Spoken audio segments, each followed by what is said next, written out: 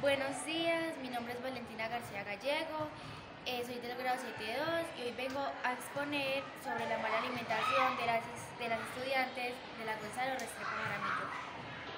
Mi objetivo es que las estudiantes de la institución tengan una buena alimentación por dentro, por dentro de la institución, eh, como eh, motivándolas a que piensen en su salud física en su físico, y con ayuda también de los padres y de muchas charlas. Por ejemplo, traer un refrigerio nutritivo y saludable y la plata que les dan no gastarla en dulces, sino cosas saludables que nos puedan ayudar a su buena alimentación.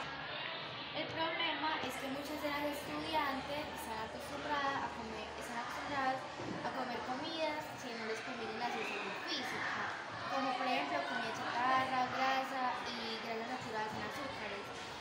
Pero entonces es un mensaje para motivarlas que se alimenten bien.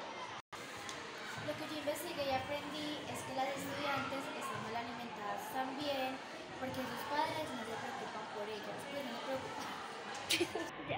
pues no se preocupan por su alimentación y también porque tienen un desorden de alimentación muy fuerte. Pero la solución que le damos a este problema